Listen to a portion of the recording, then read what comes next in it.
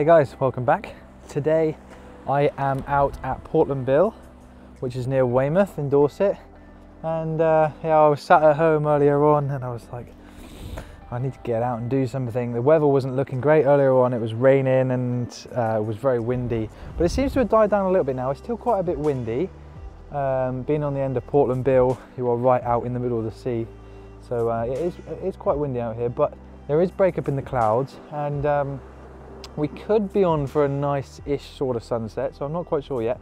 So I've given myself an hour and 10 minutes or so to uh, get a few shots, walk around the area. I haven't been here for um, a couple of months, so there's a few compositions that I wanted to get last time that I didn't get. Yeah, it's good to be out. So I've set up a composition here in front of this like crane thing that used to go into the sea. I just thought it looked really nice being rusty, old, and I just thought it looked really nice as a as an interesting shot. And I set up a composition here. And I'm shooting at f8 for 30 seconds ISO 160 with the big stopper on. And just a two second timer. And yeah really nice image. I just want to smooth out the sea even though it's nice and flat anyway. Yeah and focusing on this crane thing that's in the middle of the sea well on the end of the rock here and yeah quite a different bit, bit, bit of a different image. I don't really know if it works so um, tell me what you think down in the comments. And yeah looking forward to getting some nice images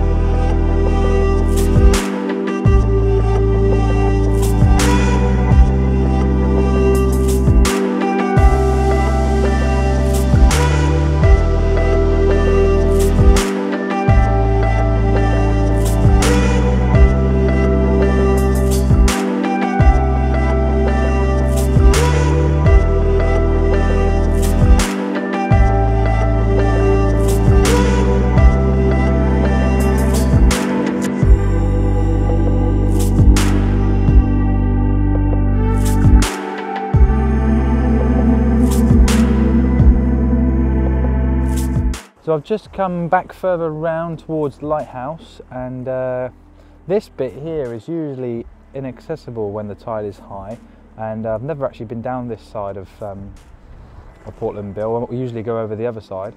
Um, so I've come down to the left hand side looking towards the west. So I've got a nice bit of light in the sky and then the um, lighthouse in the foreground too. And I'm exposing for about two and a half minutes now at f 11 ISO 50. Uh, yeah, about two and a half minutes with the big stopper in, and I have a grad on the sky just to bring out some detail on the sky too. Um, I think this will work. It's a bit slippery up here, so I'm not going too close to the edge, just in case I end up in the sea. But yeah, the clouds are moving nice and quickly, so it's making for some really nice long exposures, because you get that wispiness in the sky, and of course the sea will be completely flat as well. So yeah, this is two and a half minutes, f11, ISO 50 with the big stopper.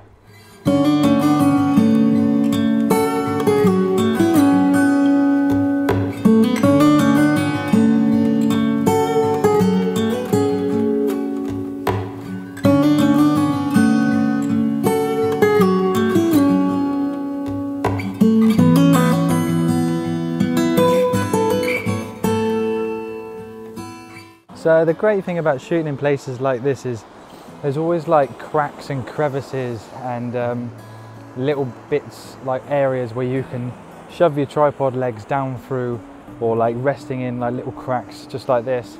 And um, it just helps for stability. Like back of that other shot I think that last shot of the lighthouse um, because I was up on top of a rock that was like covered in algae and stuff it was quite slippery. And um, I think that the lighthouse I must have got a bit of movement there somewhere because I think it's not completely sharp. But hey ho, uh, you, you, only, you, can only deal with um, can only deal with what you got uh, there. And I didn't bring my heavy tripod. Uh, I didn't think to bring my heavy tripod actually. Um, I've just bought my travel tripod, which is sturdy enough to do long exposures. Um, like in the last vlog when I was at Ladram Bay, it was fine for five and a half minutes uh, yeah, no issues there. But um, I think the bigger, heavier tripod would have been a bit of a better idea today anyway. Anyway, so I've set up another composition here looking at uh, this rock. It's called Pulpit Rock on the end of Portland Bill. And um, it's really photogenic.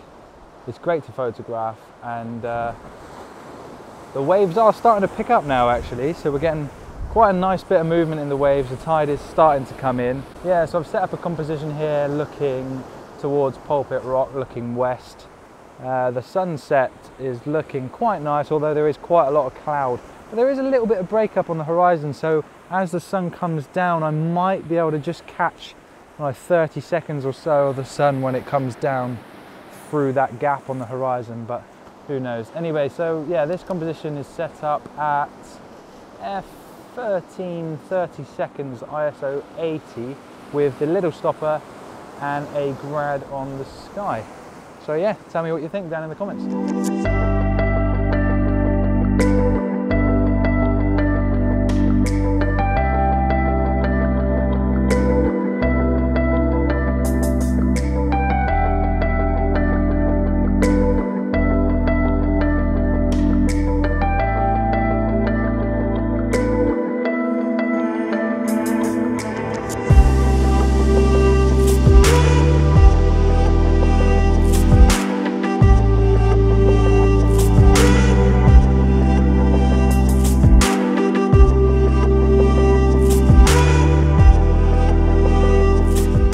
Okay, so I've come around the other side of Pulpit Rock looking east now and um, I don't think we're going to get much um, sunset. I think this is going to be a black and white image but I kind of like these black and white images anyway. They're very, like with the rocks being wet and there's a lot of contrast so black and white always works really well.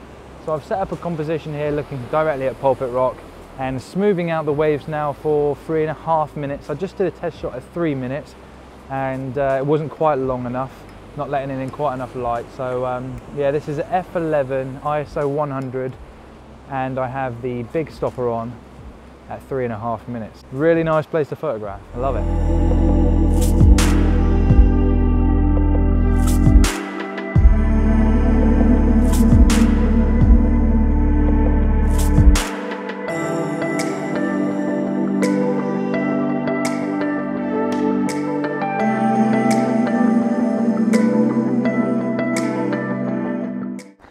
So the sun's gone down now and I'm making my way back to the car.